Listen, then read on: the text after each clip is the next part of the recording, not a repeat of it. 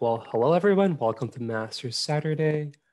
Um, I am Will Nguyen, and this is Eric Hyatt, and we are chairs of session two, modeling in many forms.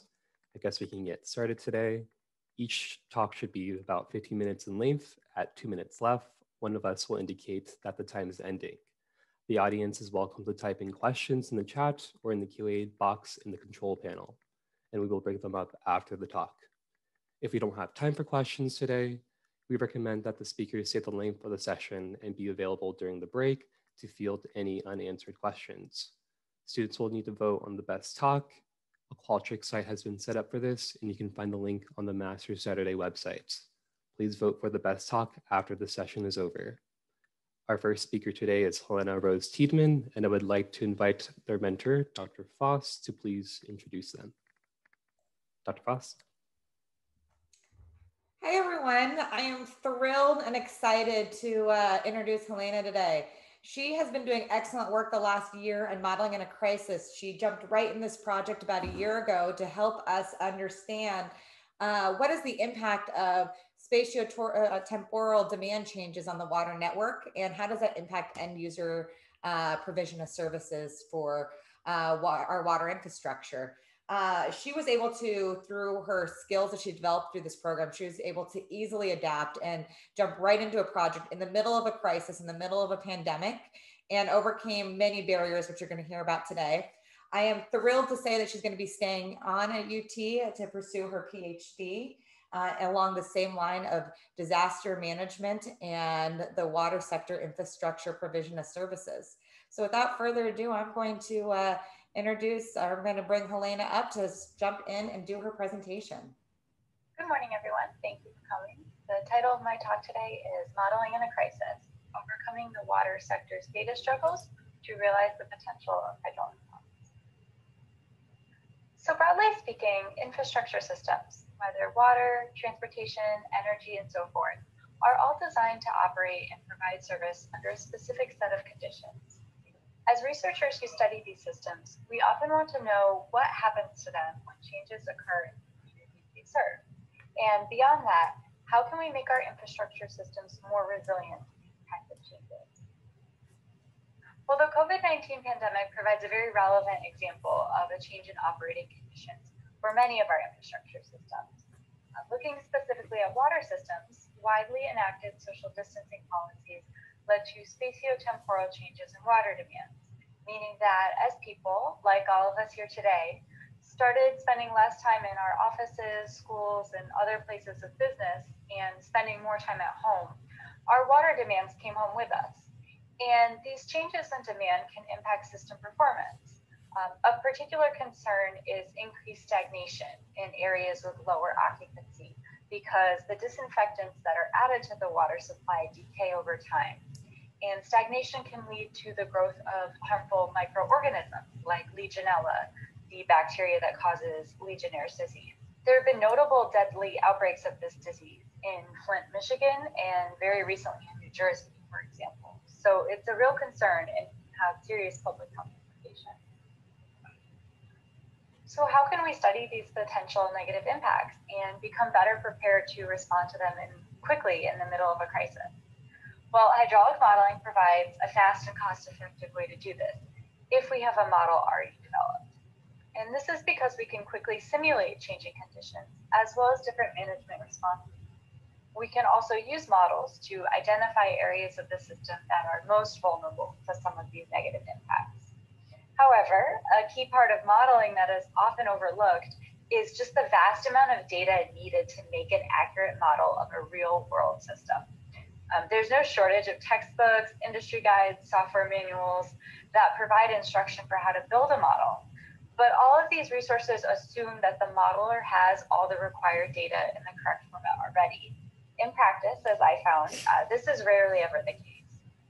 And these data needs are especially problematic because the water sector lags behind other industries like transportation or energy when it comes to data management, integration, and analytics more data now is being collected than in the past, but that doesn't necessarily mean it's well organized or put to use even.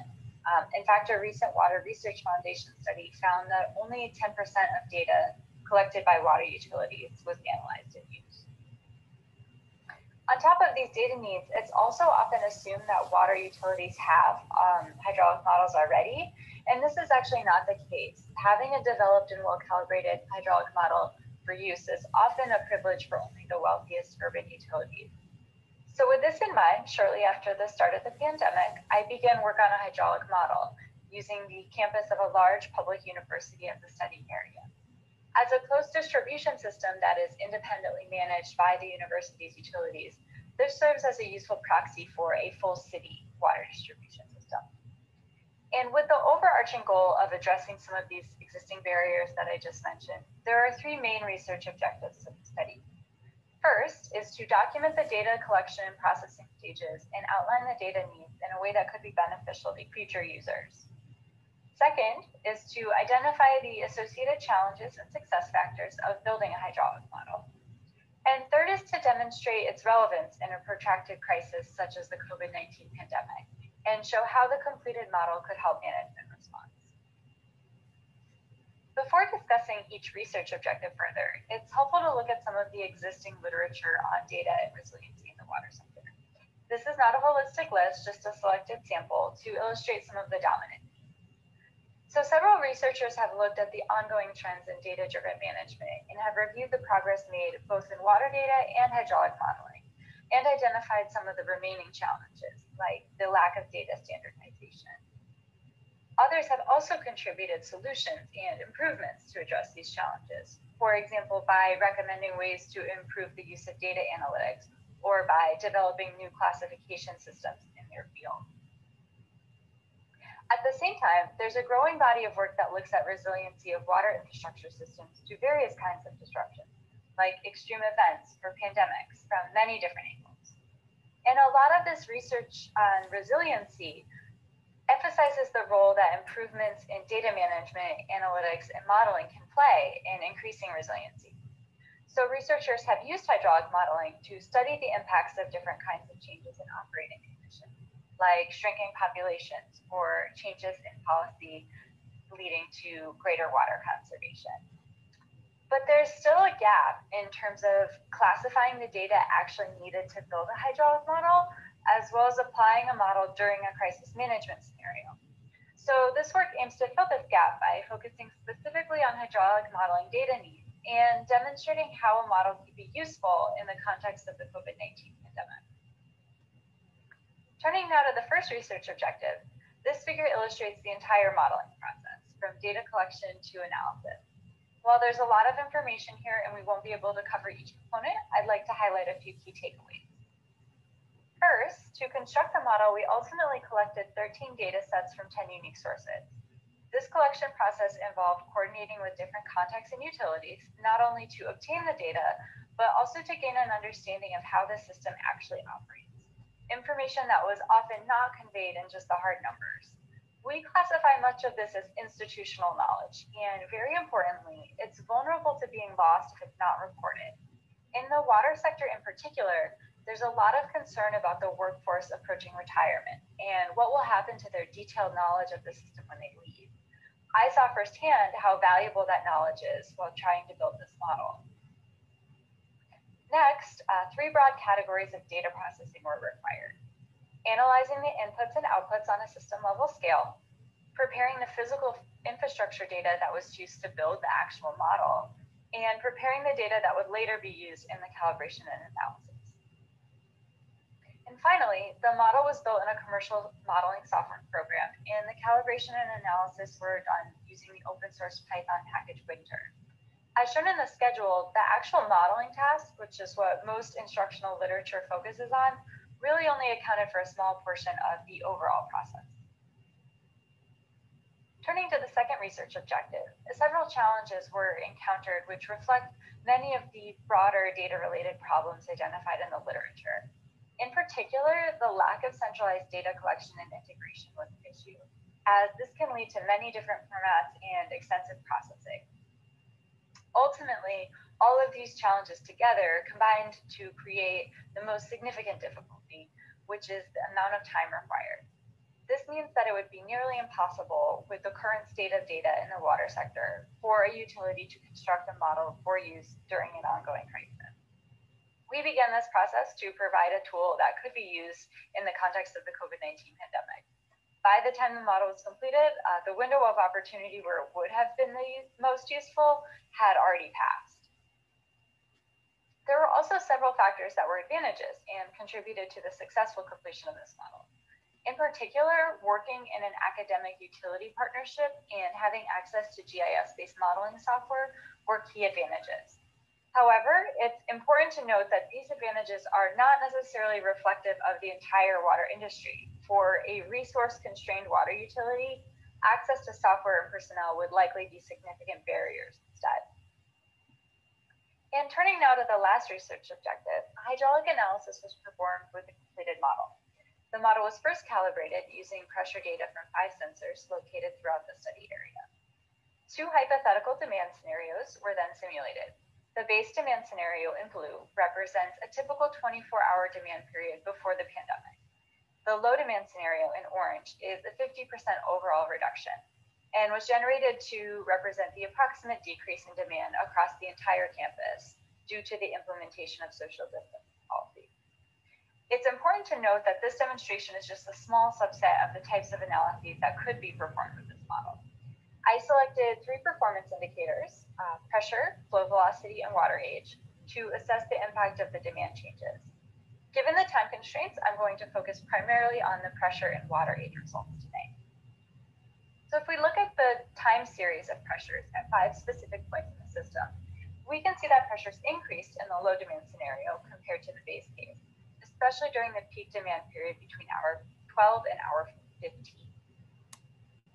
If we zoom in on one of these points in the central region of the system, we can see this more clearly and observe that the pressure results reflect the demand patterns of the two scenarios. Now this figure shows the distribution of the change in pressure from the base case scenario to the low demand scenario across all nodes in the system, with the median line shown in red we can see that the pressure increased at every node because the changes are all positive. But the difference was highest between the hours of 12 and 15, when the gap between the two demand curves was greatest. While these differences are noticeable, the overall average pressure across the entire system only increased by about 4.2%, showing that in terms of pressure, the system was fairly resilient, actually, to reductions in demand. Looking now at the water age results, this tells us about stagnation in the system. and we can see from the two distributions that the age in the system did increase in the low demand scenario, with the overall average age increasing about 40%. Another interesting result is the travel time for the source water. The median age shown in red increases pretty much linearly in the base case scenario until about hour 14.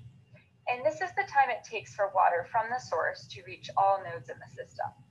In the low demand scenario, this peak does not occur until hour 22, meaning the system-wide travel time increased by about eight hours. And this type of information could be useful to utility managers by helping them know, first of all, is the water age in the system reaching dangerously high levels? And second, where exactly are the potential problem areas where they may want to increase flushing and monitoring?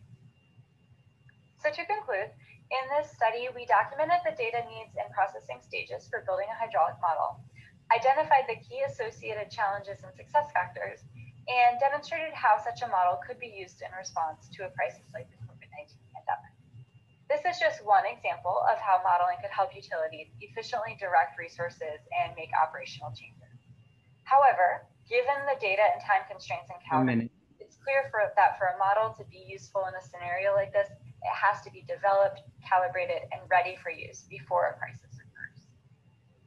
With that, to improve resiliency and preparedness, we recommend that utilities incorporate hydraulic modeling into their emergency response plans. But future infrastructure policy absolutely needs to support them in this.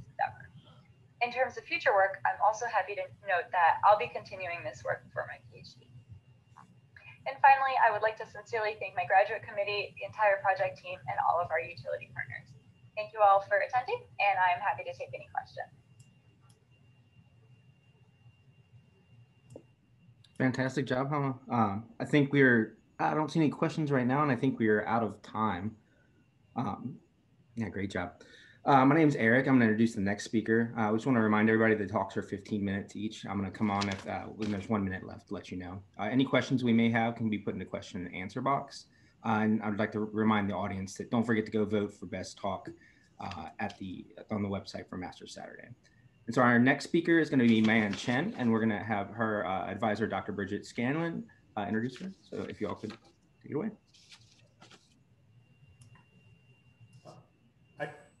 I think Dr. Scanlon, I think I'm introducing Meiyan. Is that right, Meiyan? Sorry, I forgot to tell you that. Um, yeah, Dr. Oh. Hukla will introduce me. Sorry.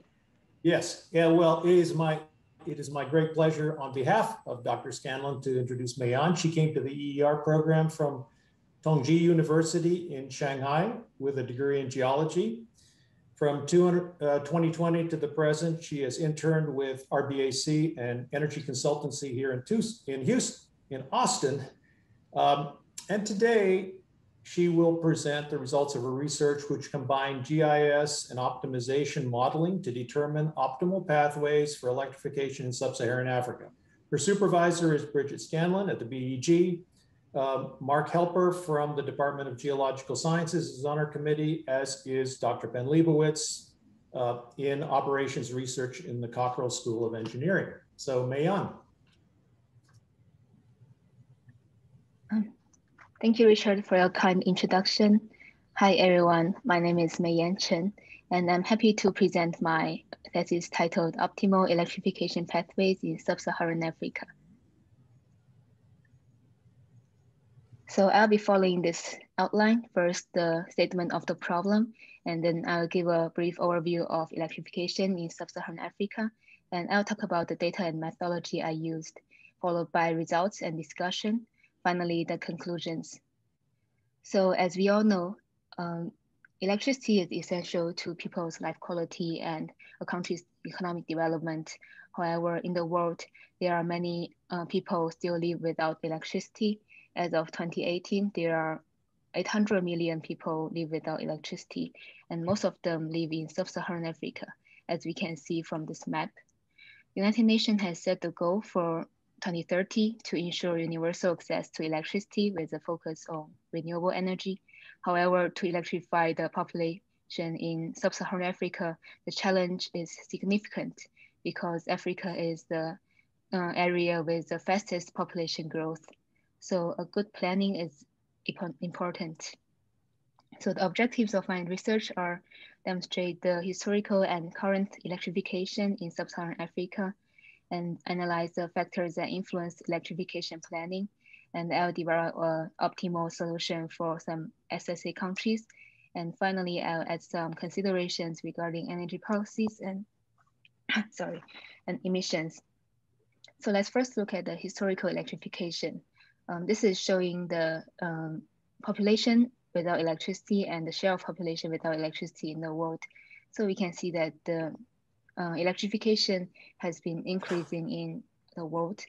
But when we look at the sub-Saharan Africa, the uh, population, the share of population without electricity access is decreasing, which is good, but the population without electricity is still increasing a little bit.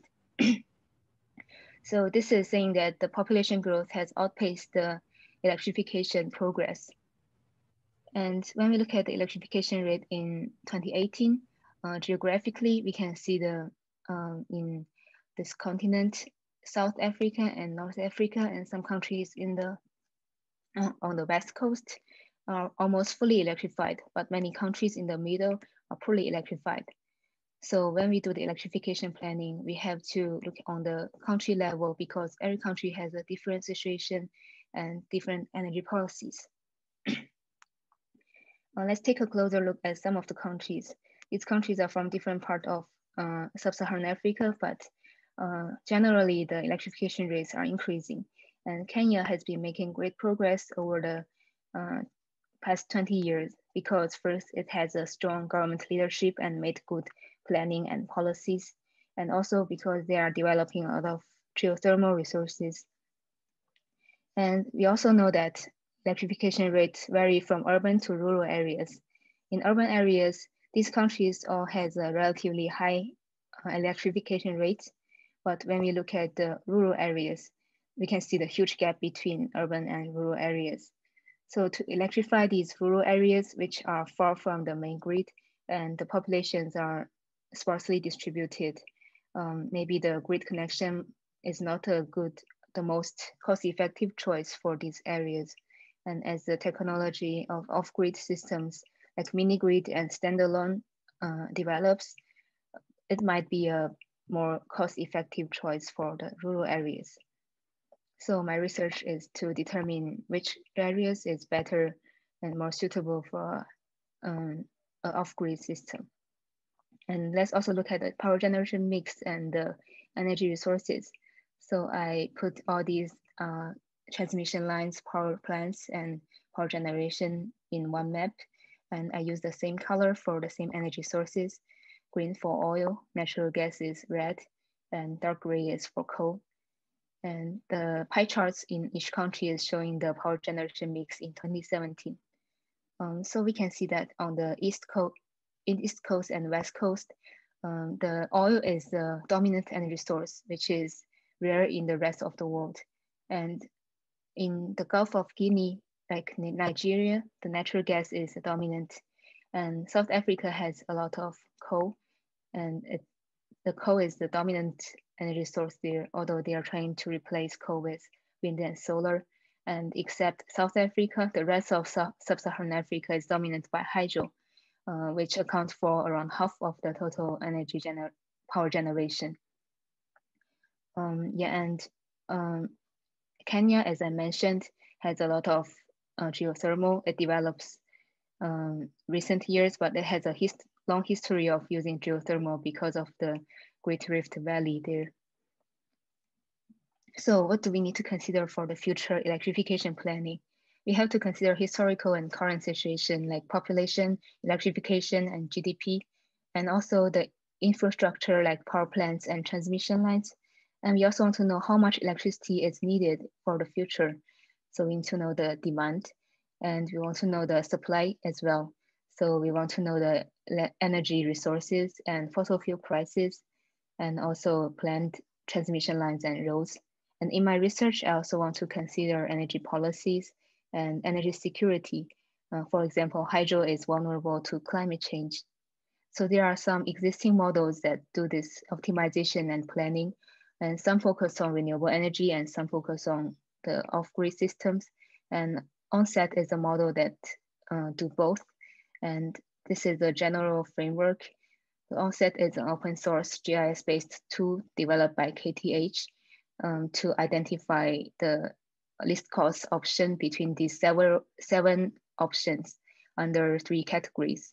The grid connection, mini-grid solar, mini-grid wind, mini-grid diesel, small hydro, and standalone solar and diesel. So first, it calculates electricity demand using population and tier of electricity demand. And to meet this demand, it calculates the LCOEs of the seven different technologies in each settlement. So LCOE is the levelized cost of electricity and it's a long-term average of generating cost. Um, so it has three components, the investment, the operation and maintenance and fuel cost for fossil fuels.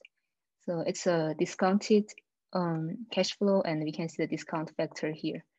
So by comparing the LCOE, it gives the optimal split, which is in the form of a map. So these are some data sets I used for this model. Uh, these are all publicly available data and I mainly want to show the year and the resolution here of the data. So the first step of this model is to generate population cluster using these three layers. So uh, we want to know where there are populate there are people living and how much of them have been electrified. So this is a QGIS plugin written in Python and the output is a, a layer with like 50,000 uh, rows and uh, showing the information of population and electrified population, which is based on the visible nighttime lights. And this is an input for the next step, which is another plugin and it combine all these layers into one data table and rows and travel times are for diesel cost calculation. And mini hydro is also calculated by KTH using river network discharge flow and elevation. And wind and solar and valuations are for wind and solar uh, cost calculation. And the grid and the level land cover are for grid connection calculation. So certain land cover types will give some penalty to the grid connection, which are not suitable for this option. So the output of this step is a data table that uh, for one country and uh, with all the settlements and uh, yeah, these um, parameters. And there are some other parameters that we can set up in the model and uh, run the Python code. So this is an example of Senegal and it gives a projection for 2025 and 2030. So the optimal splits here um, mainly are by four options. And from 2025 to 2030, the electrification rate increased to 100%. And we can see the uh, some mini grid and standalone spots have been ultimately uh, connected to the grid based on the model. And these areas in the East Senegal are far from the grid, so standalone are the best option for them. And we can also look at other variables in this model. Um, we can look at the new capacity in 2030, and we can see uh, in standalone uh, areas, there are the new capacities are much lower compared to the grid connection, and the cost can be much higher. Uh, this is the LCOE per dollar per kilowatt hour. And we can see that in the grid connection uh, areas, the LCOE is relatively low. And we can also run different scenarios by changing the parameters of the model. So uh, I ran a scenario with 100% electrification in 2025, which is the actual policy of Senegal. And from the map, we can see it looks similar to the base case, but uh, when we look at the numbers, we can see an increase in standalone and mini grid solar. So this is a recommendation for Senegal to achieve this goal in a cost effective way. Another scenario I ran was to uh, consider renewable subsidies and uh, carbon co cost. So I added the generating cost, diesel price, and lower the solar cost. And we can uh, see the results in investment. As we expected, grid investment will be much lower and uh, more investment will be in solar and mini hydro options. So these are my conclusions. Around 47% of SSA is electrified and East Africa is making great progress. And hydro is a dominant power generation source in SSA and solar and wind are a small part, but they have great potential and the country's energy source is generally related to the country's fossil fuel resources. And Senegal, as an example, um, to achieve the 100% electrification earlier, more mini-grid and standalone solar systems are recommended. And to address emission costs and renewable subsidies, um, more mini-grid solar and mini-grid hydro instead of grid connections are needed. So many thanks to my supervisor, Dr. Scanlon, and my committee members. And thank you everyone that I met at EER and JSG. And thank you everyone for your attention. Right, great talk, Meiyan. Um, I don't see any questions in the Q&A box quite yet, but if anybody has any, please type them away.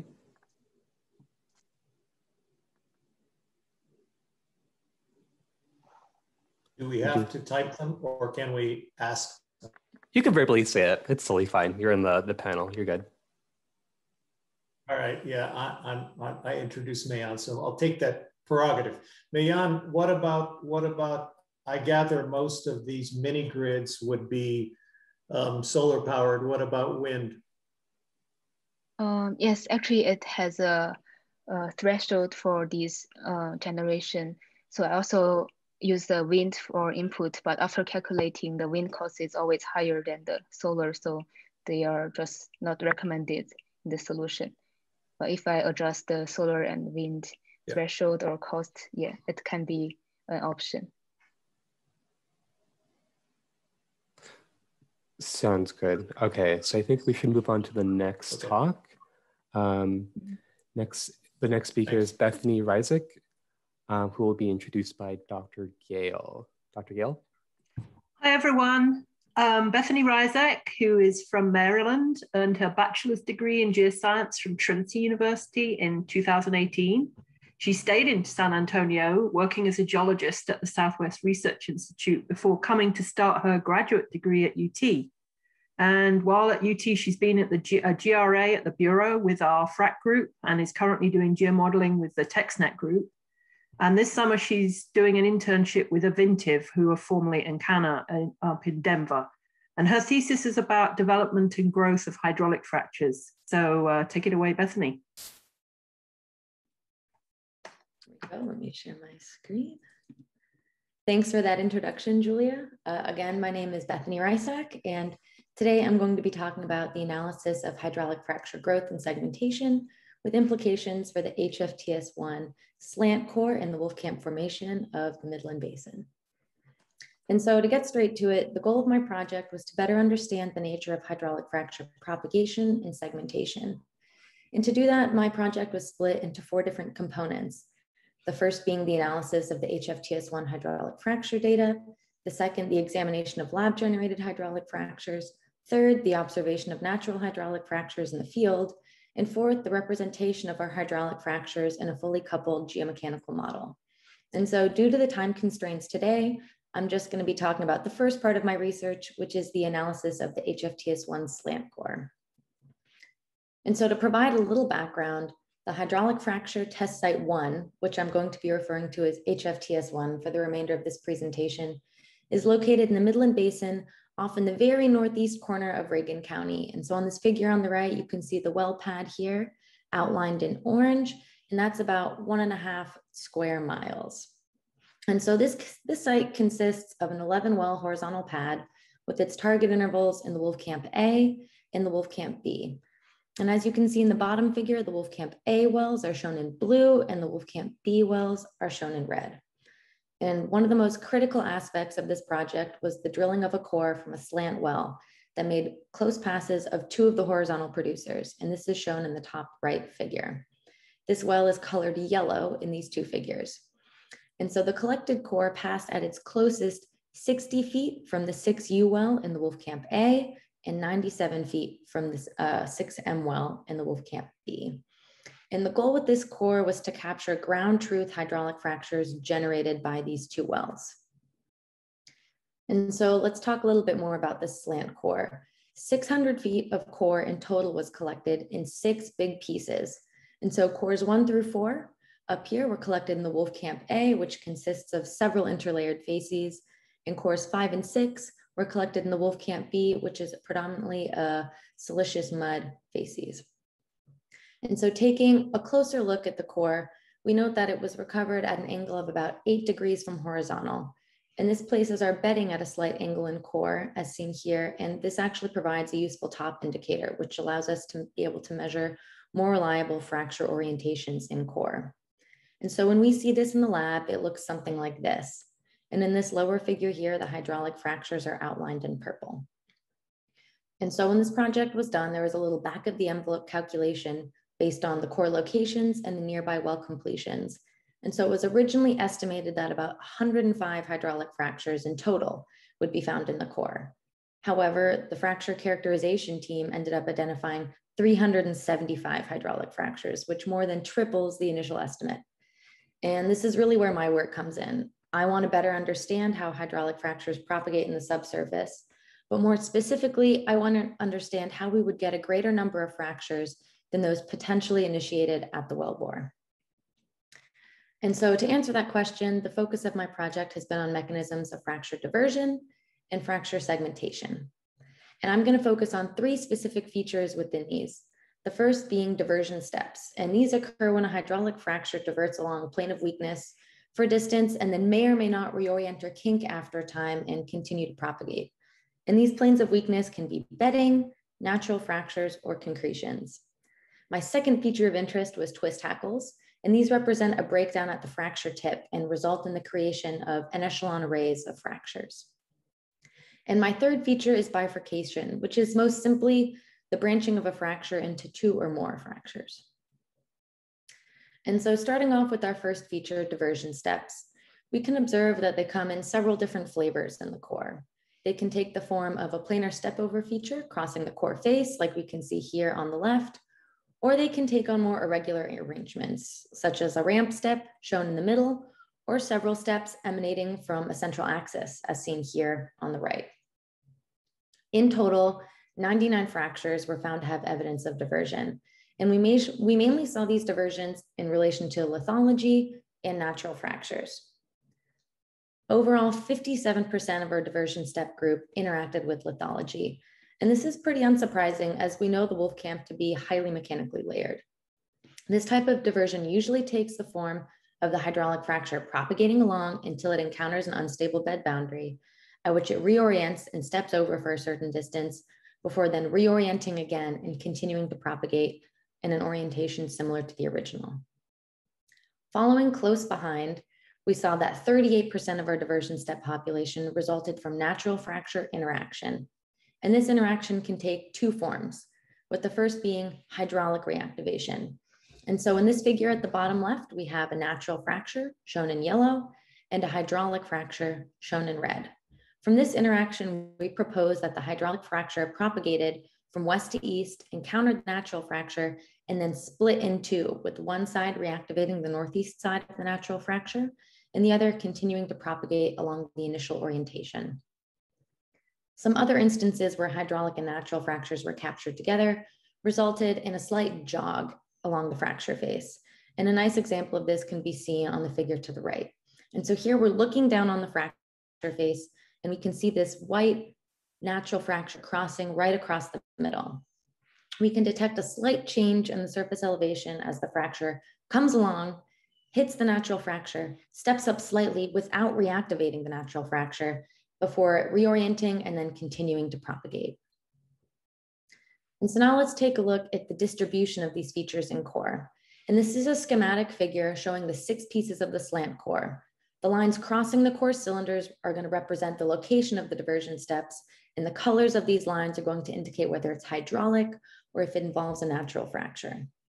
And so in the core, we can see that diversion steps are much more prolific in the Wolfcamp A cores one through four than they are in the Wolfcamp B cores five through six.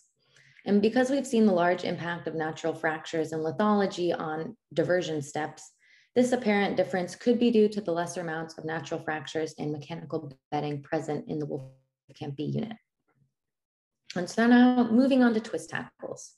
In the slant core, we identified 67 hydraulic fractures that showed these features. We also observed that twist hackles tended to come in two types in the core, those being gradual and abrupt. In general, gradual twist hackles form within the parent joint bed and grow orthogonally from the parent joint plumose structure. And they're gonna curve up and out and increase in displacement to the bed boundary. This represents a continuous breakdown of the parent joint. And we can see a really nice example of that to the right in the core, with the plumose indicating that the fracture curved up, likely towards a mechanical boundary. In total, we saw that 34% of observed twist hackles in core were gradual. Abrupt, tackle, abrupt, abrupt twist hackles are much the same idea, except they form in the beds above and below the bed containing the parent joint. And the hackles are expressed as a series of regularly spaced en echelon cracks that abut the parent joint bed at an angle different to that from the parent joint plumose. And this represents a discontinuous breakdown of the parent joint. And to the right, again, we see a nice example of this in core, where we propose the fracture propagated from below encountered the change in lithology, and then segmented into en echelon fractures. Overall, we saw that 54% of twist hackles in the core were abrupt. And so because twist hackles are so closely dictated by the nature of the lithology in the presence of bed boundaries, they often show a clustered nature in their appearance and core, with more located in specific areas of increased mechanical heterogeneity. This correlation with stratigraphy is something I'm currently investigating with the help of the geomodel I've been building for part four of my project. And so last but not least, moving on to bifurcations. In the simplest terms, a bifurcation is the branching of a fracture into two or more fractures. And in this schematic here, we can see the parent fracture propagating along until it reaches this line of divergence at which it splits into two, creating fracture A, shown in red, and fracture B, shown in green And the, ori the orientation between these two is going to be our direction of bifurcation, which is shown here with the yellow line. Overall, we identified 22 of these bifurcation doublets, also known as pairs, in the slant core. Oftentimes in core, though, we cannot always capture the line of divergence, but based on the orientations of the fractures, we can trace it to just outside the core margin, as we can see with these examples here. And while we can arbitrarily determine propagation direction offhand just by looking at certain bifurcation doublets, I was able to obtain more quantitative data on bifurcation direction using the collected fracture orientation data from the fracture description, and also by doing some stereo net gymnastics. And through this process, I was able to determine the bifurcation direction for our 22 doublets. This stereo net here to the left has points indicating the lines of bifurcation for each doublet pair. These data show that in the Wolfcamp A, a majority of our doublets indicate fracture propagation to the west, and in the Wolfcamp B, a majority of doublets indicate propagation to the east. Thinking about the completions done at the wellpad, this is actually about what we would expect to see in core. And now let's see how these 22 doublets are distributed in the core. And in reality, the number of doublets is likely much larger than 22, but their points of bifurcation or their lines of diversion are just too far outside the core margin for us to be able to tell for sure. For those we can identify, we see that doublets occur at about a rate of 0.04 per foot in the Wolfcamp A and only about half that in the Wolfcamp B. And while we cannot say for sure why we see these changes in rate of appearance, it is potentially linked to the lithology differences we've been observing between the Wolfcamp A and the Wolfcamp B. And so wrapping up what we've seen in core, we found that more fractures were found in the core than were initially expected. And to explain that, we turned to fracture segmentation and diversion as mechanisms for increasing the density of our fracture network. We saw that 44% of all hydraulic fractures show some sort of segmentation or diversion feature. And that's a pretty substantial chunk of our hydraulic fracture population. Diving into that 44%, we found that mechanical heterogeneity like natural fractures or interlayering of different lithologies seem to play the biggest role in the initiation of these features and the creation of a dense, closely spaced fracture network. And this slide sums up the findings from the other aspects of my project. When looking at diversion and segmentation fe features elsewhere, we saw the importance of natural fractures in the lab and bedding and pre-existing deformation in the field. We were also able to calculate the increased surface area provided by these features and we were able to incorporate our HFTS1 fractures into a geomodel and compare their locations to reservoir properties. And so to bring it all together, we've now identified segmentation and diversion features in the core, in the lab, and in the field. And this indicates that these complex types of fracture propagation are likely a lot more common than we initially assumed, and that they likely play a larger role in the overall formation of a fracture network. And our ongoing work is focusing on trying to generate these features in the 3D model space, which could potentially aid in the development of more accurate 3D fracture modeling in the future. And that brings me to the end of my presentation. Thank you all so much for listening, and I'll go ahead and take any questions. Fantastic talk, Bethany. Uh, we actually have one question from Dr. Flemings. Uh, he said, why is hydraulic fracture diverted at lithologic boundary? Is it because of stress or is, is different in the lithology it encounters or is it the lithology it encounters more or less in, indurated? Because the stress is different. Oh, that's a really good question. And I really think it depends a lot of times at what kind of lithologic boundary it is, depending on if it's between two shales. And oftentimes we see pyrite layers in the Wolfcamp as well. And what I usually assumed was that um, the stress is different. And I think it's because the contacts sometimes are planes of weakness, which will attract the fracture tip. Um, the thinking about it as indurated is something I haven't really thought about too much, but. Um, Can you define indurated for us that don't do this? Yeah, that would actually be a little bit helpful for me as well. Peter, can you lend anything to that as well? Can you hear me? Yes. Uh, oh, I just meant better cemented, harder, stronger cohesion, that kind of thing. Yeah, exactly. And I think that has a lot to do with the nature of the contact because with the pyrite, I think there's a lot, it's a lot more cohesive and it's a much stronger bed compared to those surrounding it. And there also is a lot of uh, cementation seen in the Wolfcamp as well with all the natural fractures. And so sometimes yeah, depending on what lithologies you have, you're going to have different cohesion along the bed boundaries to attract that fracture tip. That was a fantastic talk. Uh, I, I, learned quite a bit there.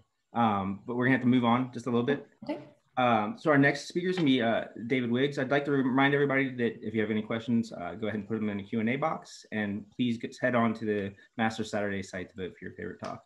So without any ado, uh, Dr. Flemings, could you uh, introduce uh, Wiggs for us? Thank you. Uh, we all call him Wiggs, not David. I don't know why. Uh, David has received his uh, BS in geophysics at uh, Austin in 2019, and he stayed on for a master's degree.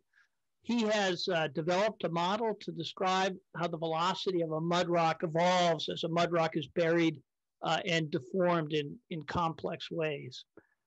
Um, his work has the potential to improve seismic imaging uh, as well as enable us to predict pressure and stress from seismic data. And it's at the interface of seismology, geology, and geotechnical engineering. And because of that, David's had had three very active advisors with Maria Nikolinakou and Kyle Spikes, uh, both uh, playing a huge role in this. And I would add that David's taught me a huge amount along the way, and that's the best part uh, of being an advisor. Uh, David will start at a full-time position at EOG in San Antonio uh, this summer. Take it away, David.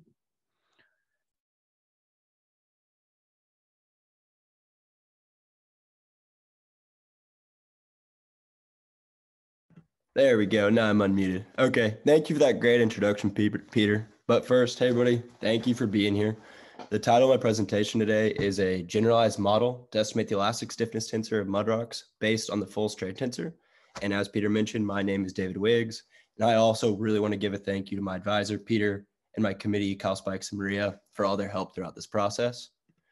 And then, so to start, I really want to give everybody a basic definition of seismic anisotropy because it is a critical concept in my work. So seismic anisotropy at its most basic definition is a directional dependence of the velocity of seismic waves within the earth. So this means that the anisotropy arises from aligned heterogeneities that are at scales smaller than the scale of measurement.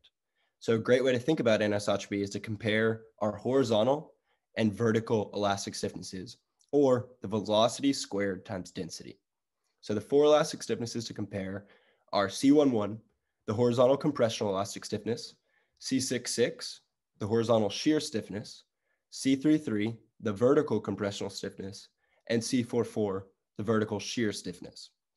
And so there's several types of anisotropy to consider that include stress-induced, layer-induced, but then the focus of our talk today is going to be grain orientation-induced anisotropy. And so grain orientation-induced anisotropy arises from alignment of platy clay grains. So if we think about the box we have here, upon deposition, these platy clay grains are randomly aligned. This leads to an isotropic medium where both the horizontal and vertical elastic stiffnesses are the same. But then as we compact that medium, the grains collapse and align perpendicular to the direction of compaction. And this leads to an increase in the elastic stiffnesses perpendicular to the direction of compaction, or in this case, the horizontal. And so with that, I want to be able to discuss the importance of the elastic stiffness prediction of mud rocks. So ultimately, our model provides the ability to be able to predict the elastic stiffnesses and seismic anisotropy of a mud rock due to any strain case. This means that if we have the full strain tensor and constituent fractions along with their properties, we can predict the elastic stiffness and anisotropy of that mud rock. And so this method is going to be useful because first, we can combine it with a poromechanical model to understand the impact of complex deformation on mud rock elastic properties. And then second, we can take inverted elastic stiffnesses that are output from a seismic inversion and predict the deformation that's undergone by mud rock and field data. And then finally, we can improve upon conventional seismic processing techniques by informing a tilted transverse isotropic or TTI seismic processing model to improve seismic imaging in complex strain environments. So with an understanding of the importance of our method, I now want to look at the primary objectives of our work. So first, we want to be able to estimate the elastic stiffnesses of mud rock given any strain field. So this means that we want to be able to for build a forward model that incorporates porosity loss and particle alignment due to deformation. So a great way to see the impact of deformation on the microstructure of mud rocks is through the examination of SEM images. So here on the right, we see two images of the resedimented Boston blue clay at different stress conditions. First, In the top right, we have a sample at 0.1 MPa loading with a porosity of 0.57. Within the image, you can see large black pores and randomly oriented platy clay grains.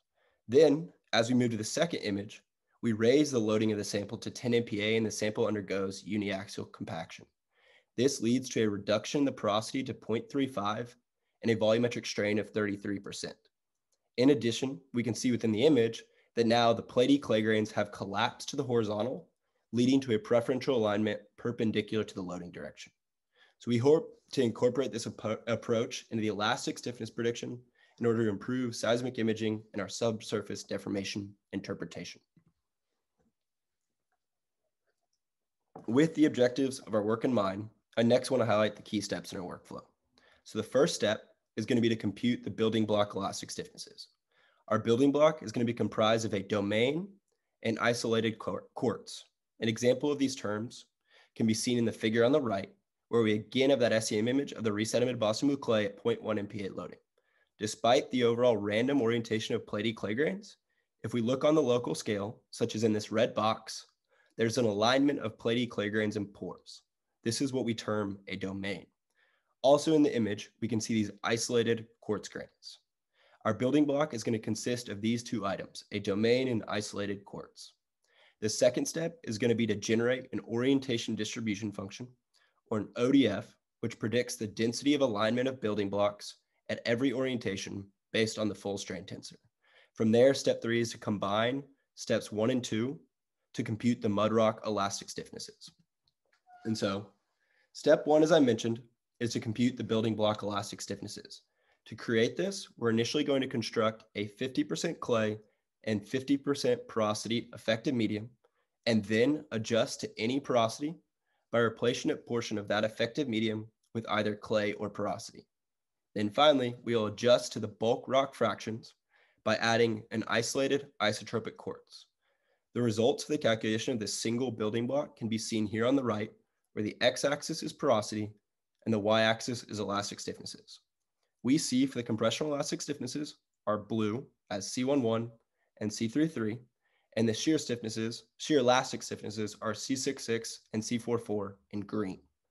There are two key details that I want to highlight from this plot. First, we see that as we decrease porosity, the magnitude of all of the elastic stiffnesses increase.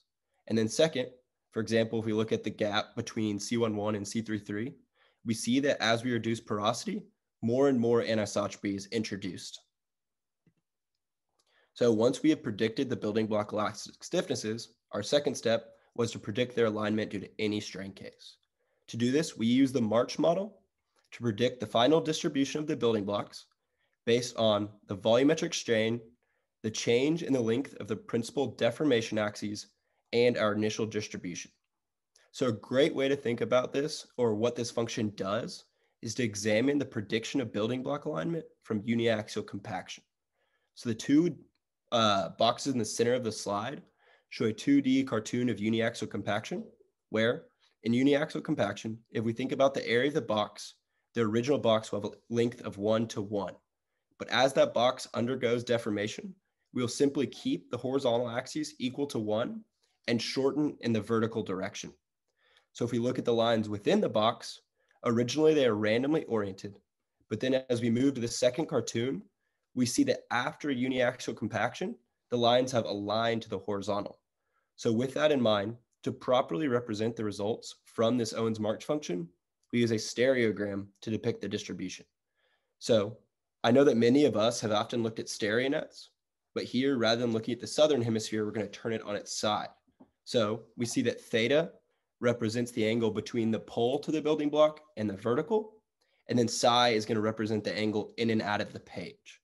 So looking at this two stereograms on the right, the top figure represents our stereogram prior to uniaxial compaction. So we see here that we have equal distribution of poles at all orientations, meaning that our building blocks are randomly oriented.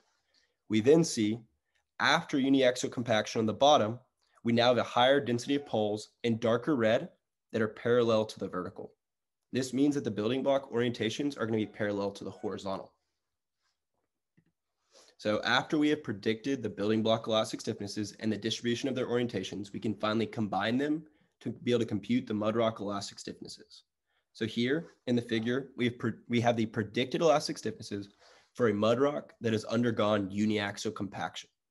So this plot again has porosity decreasing along the x-axis and stiffness increasing along the y. We see that at our original porosity of 0.58, the compressional and shear elastic stiffnesses are going to be equal to each other, and this indicates we have no anisotropy. Second, we see that as we uniaxially compact the sample, we increase the magnitude of our elastic stiffnesses with porosity reduction in the building blocks along with their alignment. In addition to that, we see that the difference between the horizontal and vertical elastic stiffnesses increase, meaning that we introduce more anisotropy.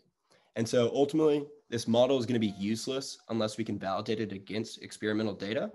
And so here we have plotted two separate experiments of uniaxial compaction on mud rocks in addition, I shaded 10% error for each of the elastic stiffness predictions.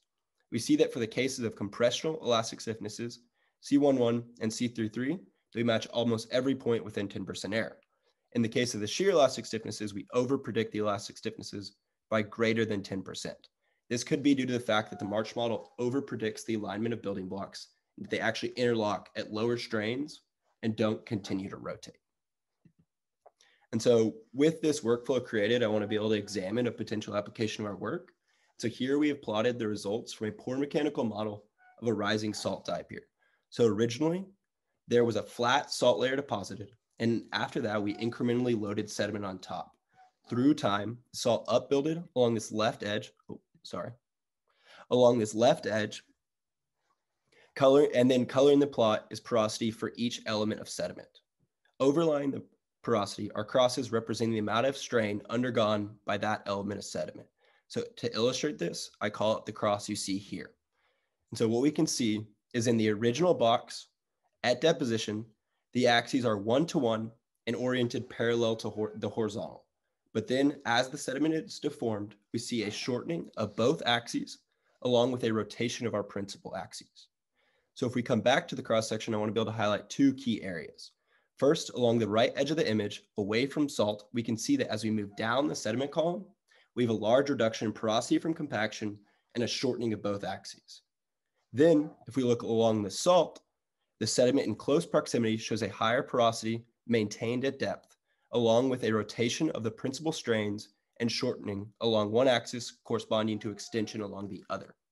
So with the results from this pore mechanical model, so our full strain tensor and porosity, we predict for each element the resulting elastic stiffness matrix of the mud rock.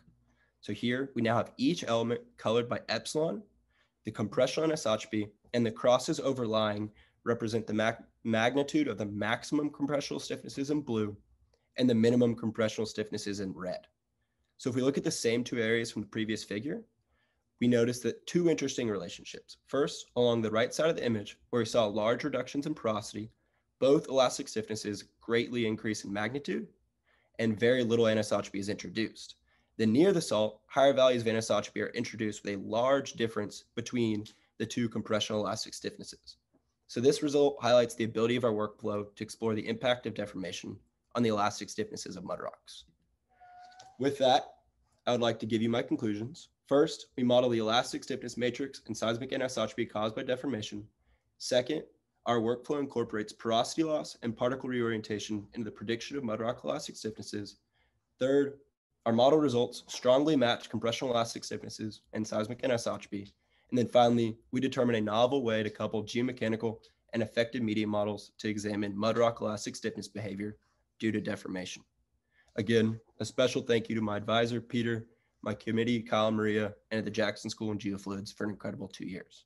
I would now be happy for any questions. All right. Um, thanks, David, for a really good talk. We do have about a minute for a question, and we do have something from, see, Dr. Gale, I believe. Um, I have a question about diagenic versus mechanical processes that result in particle reorientation. Um, I think there's supposed to be a question attached to that. Dr. Gill, if you want to go live. Yeah, yeah, I was anticipating that you would let me um, come on and, and uh, just ask the question. Go so, for it. Um, yeah, it's a really it's a really interesting topic and very valuable work. I was watching what you were doing with the um, mechanical rotation of your particles, and Yes, it ma'am. reminded me of some work that one of my ex-colleagues, and in fact Peter's colleague, um, Ruarri Day-Stirrat, he did some work um, looking at um, diagenetic processes that led to the breakdown of clay particles. And his, his finding was that some of that reorientation is to do with diagenetic processes of um, dissolution and reprecipitation rather than mechanical rotation.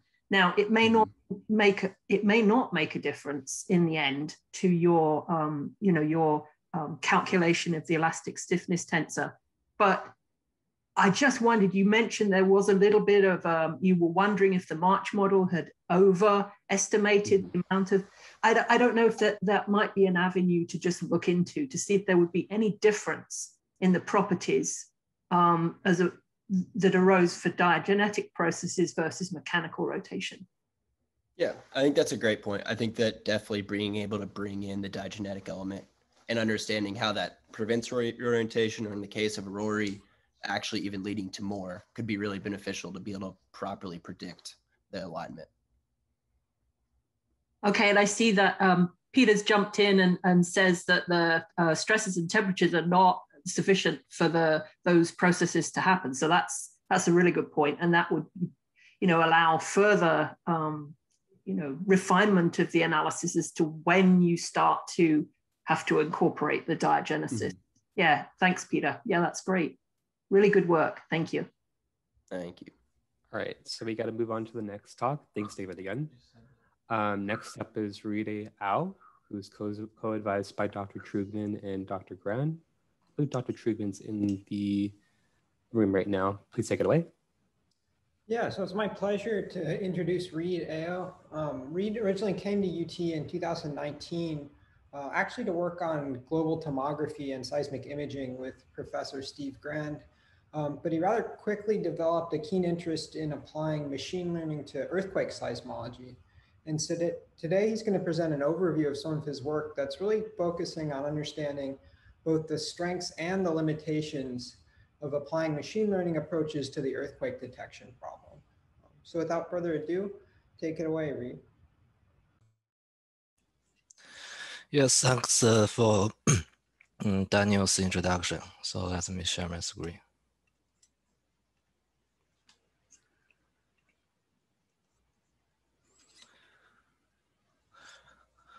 Okay, for my master thesis project, I mainly compare two different uh, machine learning based earthquake detection algorithms. And uh, first of all, what is uh, earthquake detection? Uh, it is, uh, in fact, a very fundamental problem in seismology. It is used to estimate the time of uh, seismic phases on seismograph.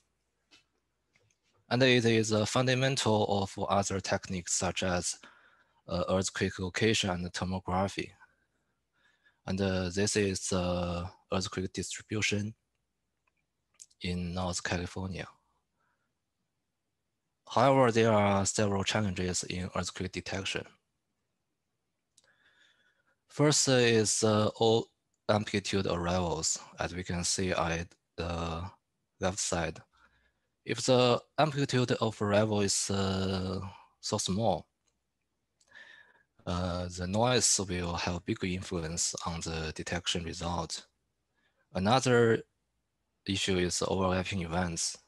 As you can imagine, if there the events uh, happened at nearly the same location or nearly the same time, uh, the same phase time difference is much smaller, and uh, so it's very hard to discern. Another issue is the S wave performance because of uh, P coda wave. As you can see at the right side, S wave is always arrival later than P waves. And uh, after P wave arrivals, there is still vibration and there are also some noise. So it's hard uh, for S detection.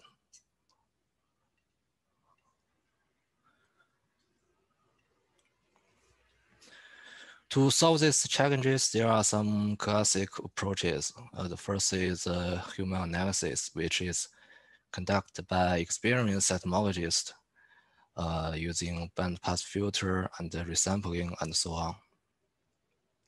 So advantage of this method is that uh, it is with high precision, but uh, there is always man-made errors. And if the data set is very big, uh, it will increase human labor.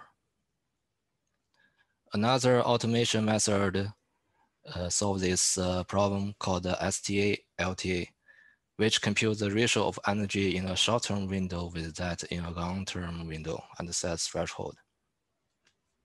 As you can see on this picture, using this uh, this method, we finally detected a wave, uh, a phase between the red line and the blue line. The advantage of this method is that uh, we don't need prior knowledge of uh, events waveform or source wave information. The disadvantage is also P-coda still have effect on us and uh, it is uh, sensitive to noise level. And additionally, it also needs some processing process such as a band, bandpass filter. And uh, you may set different threshold for each waveform. So is there any more efficient way to solve this problem to reduce the pre-processing, especially when the data is very big? Uh, machine learning is in fact a very efficient method to solve our seismology problem. In general, machine learning uses training data to build our model and then make predictions. Uh, for example, if we want to know our picture, uh, whether there is a cat or dog, we may put the image in through several layers and uh, extract some high level features such as the ears uh, and the eyes and the mouth. And finally make a prediction whether this uh, is a cat or dog with a probability. So earthquake detection is the same kind of same problem. We input our uh, seismic waves and finally through different layers extract the extract the system to find the features of this waveform. We get the probability of different phases such as PS and uh, noise. Uh, one thing I want to mention is that earthquake detection, in fact, is a supervised learning problem in machine learning, which means that uh, the input uh, waveform are labeled. Uh, for our waveform, it is always uh, labeled with P and S wave to train our earthquake detection algorithm. So it is a supervised learning problem. Uh, today I will introduce uh, two machine learning based uh, method called PhaseNet and EQ transformer. PhaseNet algorithm is invented three years ago and the EQ transformer uh, invented uh, just uh, last year. So there are many two new algorithms to test. The training data for these two methods are different. PhaseNet uses Northern California Earthquake Data Center, which is a regional data and the EQ Transformer uses Stanford earthquake dataset, which is a global dataset. And the machine learning structure for these two methods are totally different, but the input and the output for these two algorithms are the same.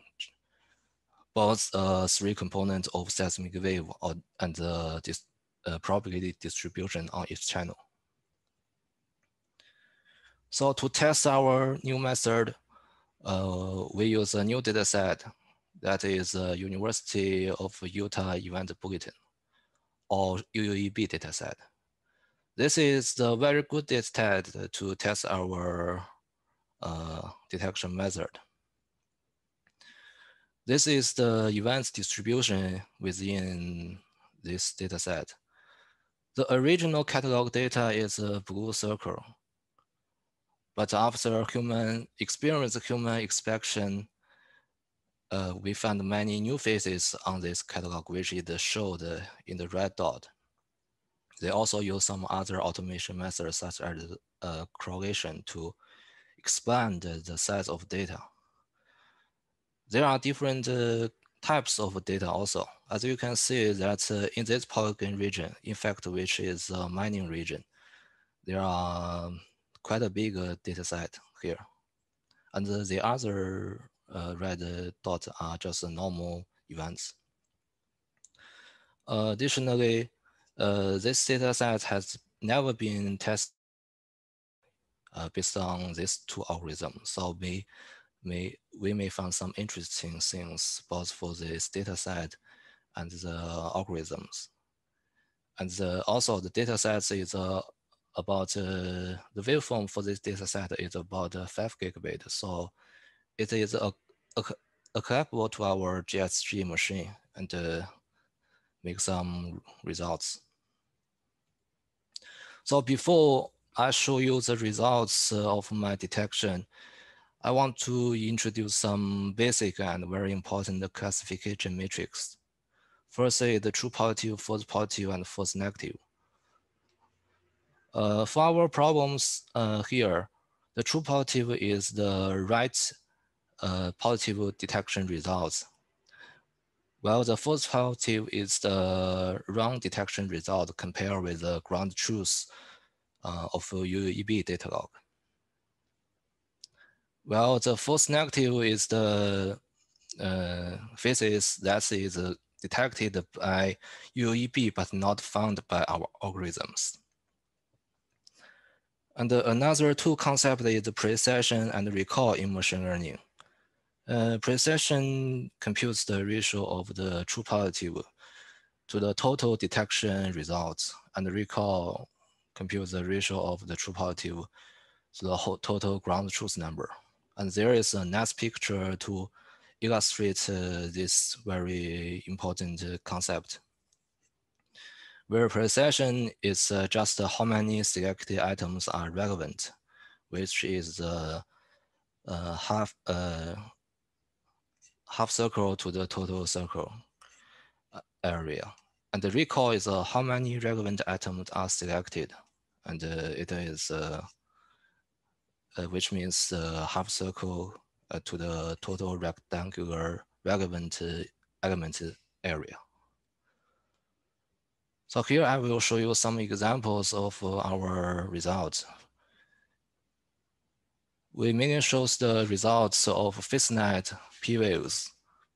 This is the true positive of PhaseNet detection result. And uh, you can see that the blue line is the PhaseNet phase, picked phase, P phase, and the green line is the UEB catalog uh, P phase.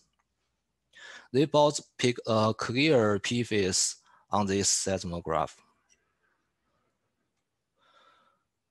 Well, for PhaseNet false positive, we can see that uh, uh, the face picked by PhaseNet is in fact not that clear or not right. And there is a still huge uh, time difference compared with the UEB catalog data, which is a very clear, comparable clear picked on this uh, seismograph. And uh, this is the false negative which means that, uh, uh, our algorithm didn't pick any uh, nearby the ground truth of UEB. Here is another example of false negative, which is very interesting to show. First, that first is that we can see that PhaseNet in fact uh, picks some faces, which is very clear. There is a sudden change.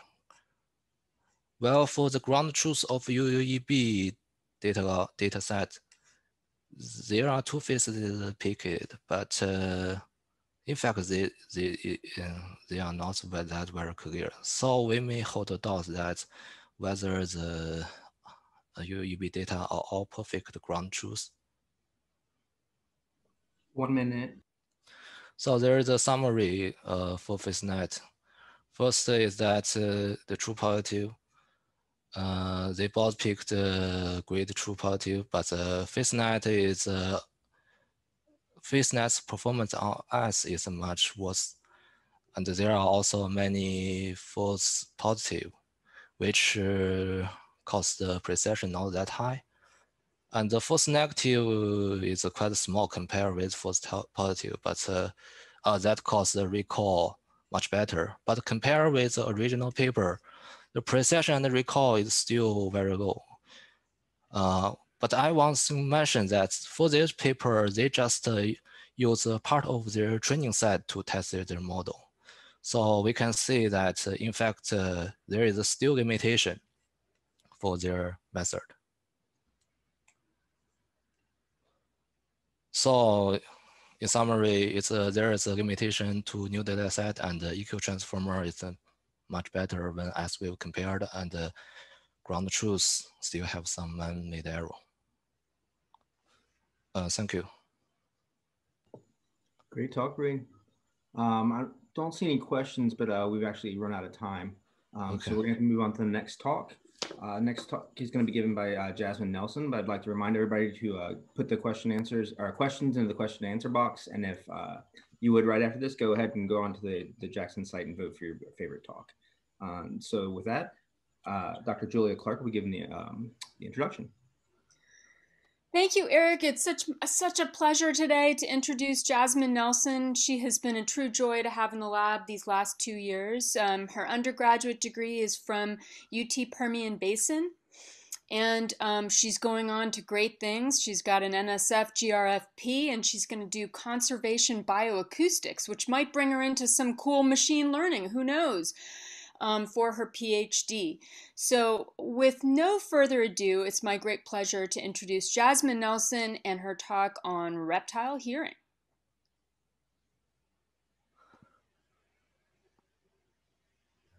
Awesome. Thank you for the introduction. Let me get my screen fully up. Okay. So, yeah, I'm really excited to present to you guys today. I'm going to be talking a little bit about uh, models that I developed in order to predict hearing abilities in extinct reptiles and how those kind of differ from the current models or proxies that are already in use. And so just to give you an overview of uh, the presentation today, first I'll start by talking about the uses of hearing and the different mechanisms that we use to hear or that reptiles use to hear. I'll talk a little bit about the previous models uh, that were used for predicting hearing in extinct reptiles. And then I'll go on to talk about the models that I went on to develop and implications and future work that may come out of those models. So to start, hearing is really important uh, in almost all taxa. Uh, so a lot of species will use their hearing in order to, uh, it can aid in foraging, it can help to avoid predators. If you're able to localize exactly where a sound is coming from, you can better survive and avoid getting eaten. But also for the predators, it's actually really useful in order to localize a prey item. So for example, the barn owl in almost complete darkness is able to localize where a small mouse is. And then it's also extremely useful, especially in the case of birds, uh, for example, for interspecies communication uh, just like it's important for you all to be able to hear me in order to understand what I'm saying now. And so because hearing is so important, we first have to go over how these reptiles are hearing before we can move into model development.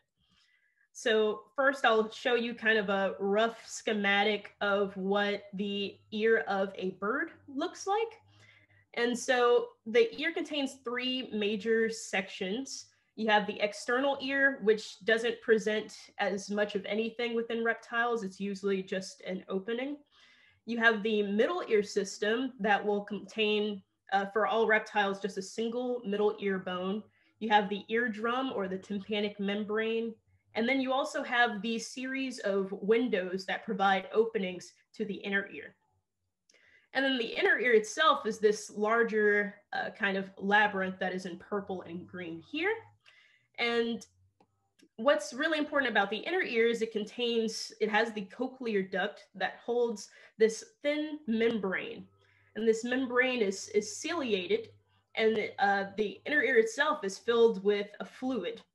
And so as the movements propagate through this fluid of the ear, it moves the cilia And that is actually transferred uh, through the eighth nerve and sent as a signal that we can then process as sound in the brain. And so both the middle ear and inner ear are really crucial in allowing hearing ability. And that's because the middle ear serves as what's called an impedance matcher. And so the middle ear is filled with air, whereas that inner ear is filled with a fluid. And so impedance is just the wanting uh, of a substance to reflect energy or to reflect sound in this case. And so because you go from air to a more dense fluid, the inner ear really wants to reflect a lot of that sound. And so the middle ear actually allows for an increase of force and pressure uh, at the oval window where that middle ear bone sits. And so it increases the amount of pressure and helps the fluid within the ear flow, which means you'll actually have a better signal that you can pick up on the basilar membrane. So as you can see, the middle ear serves a really important and, and crucial purpose in terms of hearing. And because of that, with these new proxies uh, that I went on to develop, I wanted to incorporate middle and inner ear morphology and see how that affects our predictions of hearing in extinct reptiles. So the current models actually just use the length of the basilar membrane and cochlear duct length. So they don't account for um, any middle ear morph morphometric. And so that's what I did. And I also went on to use phylogenetic comparative methods, which take into account the relationships of species as well in model development. So in, in order to collect data, of course, those uh, soft tissues that I pointed out previously in the other slide, they don't preserve, right? But you do have X-ray computed tomography that you can use to fill in digitally, kind of recreate these open spaces. And so the inner ear actually in a fossil will be an opening within the skull that you can then actually recreate after you get a, a CT scan. So I collected that for 56 different reptile species, and I went on to isolate and form the inner ear labyrinths and then the pressure relief system of the ear as well as the oval window where the actual middle ear bone sits.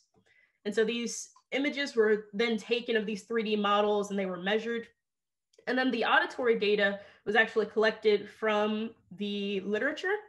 And so if you look at C here, that is an audiogram. And we, what this shows on the x-axis is the frequency of a sound that is played. And then on the y-axis, you have the threshold or how loud in decibels the sound has to be in order for it to be processed and picked up by the species. And so using both of these data types as well as a phylogeny of the species showing their relationships, I was able to develop models. But first, I did a little bit of exploration of the data. I wanted to see the impact of the middle ear measurements that I took on hearing. And by hearing here, I meant uh, hearing range, maximum frequency, minimum frequency, as well as the frequency that is best heard. So this is the frequency at which it could be as low as possible and the animal will still have a response. And so what I found when looking at the presence of a pressure relief window and how this affects hearing, uh, we generally found that those species that did have a pressure relief system had larger hearing ranges. They also could hear higher maximum frequencies, but we found that their minimum frequencies stayed relatively the same. And so what that was showing is that an expansion of these higher frequency sounds is what is leading to these larger hearing ranges where you can hear a wider variety of frequencies. And so this pressure relief system is present within all of aves and crocodilia, and it's present within some lepidosaurs, but not within turtles and tortoises. And so though this is not the only way that pressure relief can take place, this is one of the predominant ways. But this system did evolve independently among all of these groups. And so I'll continue to refer to it as the pressure relief window to avert, avoid some of the most more um, clade specific terms for this mechanism. So more into data exploration, I also wanted to explore how different clades within reptiles compare to one another in terms of their hearing abilities and came out to find that aves had a larger hearing range uh, compared to crocodiles and lepidosaurs, but also that they, of course, had this higher maximum frequency limit of their hearing, as well as higher best frequencies. So the best frequency that a bird can hear is very typically around 2000 hertz, whereas for both crocodiles and lepidosaurs, this was shifted much lower in comparison. So knowing that, and that there's also these independent origins of the uh, pressure relief mechanism, I wanted to look specifically uh, at Aves and use that Aves regression, if found, uh, to predict hearing in a sample of extinct reptiles. And so what I did happen to find using PGLS regressions, like I mentioned, that account for the relationships among taxa, we find that both middle and inner ear measures serve as significant predictors of hearing. And so here you can see relationships between the area of the pressure relief window against the area of the oval window where the columella sits. And we can see that there are a positive relationship between that ratio and hearing range and negative relationships between minimum frequency and the best hearing frequency. And so these models actually ended up demonstrating higher R squared values than uh, some of the previous models that were developed. And so that means we might have a little bit more predictive power uh, in terms of predicting hearing range, but they were still kind of restricted to below an R squared of about 0.7. Uh, so it's still on the lower side, but performs a little bit better than some of the other models previously predicted. And we found that the best serving models were actually the ones that included both middle ear and inner ear morphology.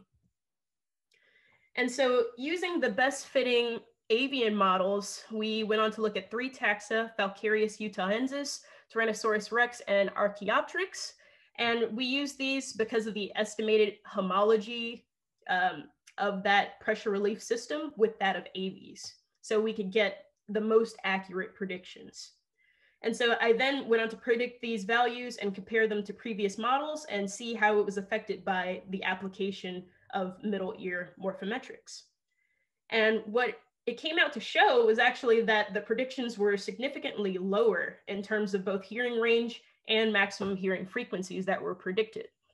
And so com comparing to uh, the most recent other study on predicting hearing, Walsh et al., we see significantly lower estimated hearing ranges for all three taxa, with Tyrannosaurus rex actually being very similar to the original predictions.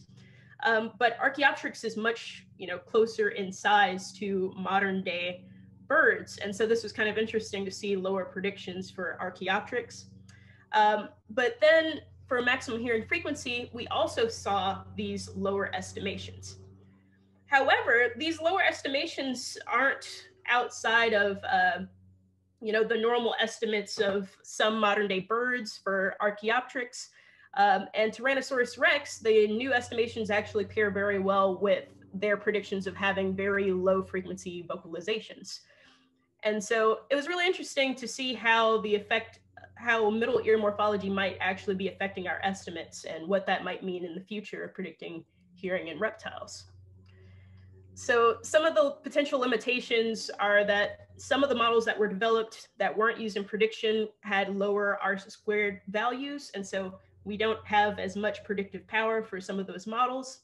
We also had to use um, auditory data that was compiled using a method called the cochlear microphonic, which has been debated for use in lepidosaurs, but it is the largest source of data and almost the entirety of the source of data, auditory data for lepidosaurs. So that's something that could be addressed in the future using different methods.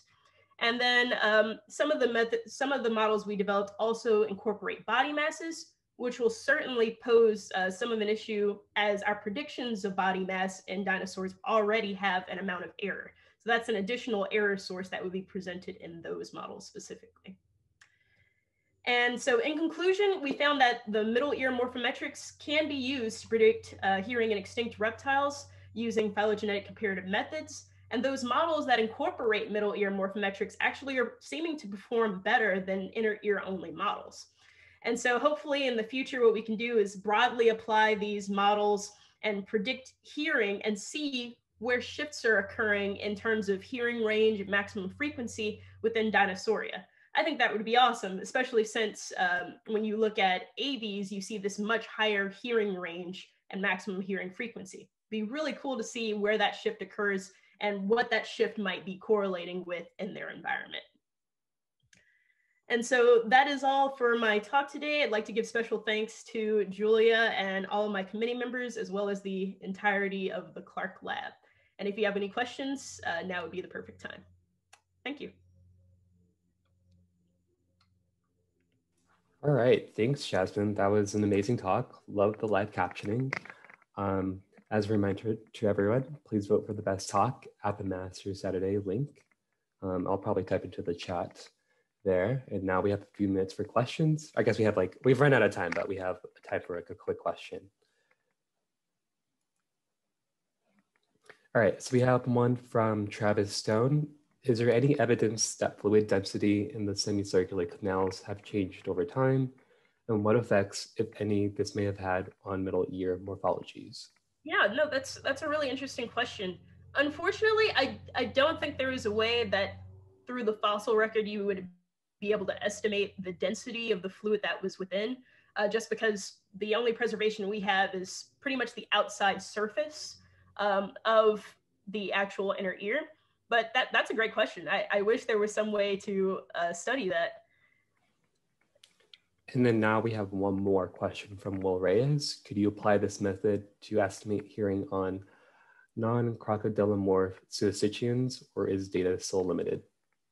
Um, I, I would say that probably data is still limited. Uh, as, as term in because the regressions that I'm using now that are really successful are for kind of the closest clades leading up to Aves, it might still be in the air. It, it's it's likely that we still need work on developing these models to have really accurate predictions. You get you a ball range, you know, a ballpark, general ballpark of hearing, but uh, nothing too specific at the moment. Well, great. Thanks, Jasmine. Um, I want to thank everybody for coming to our session today. Again, please vote for the best talk um, after the session is over.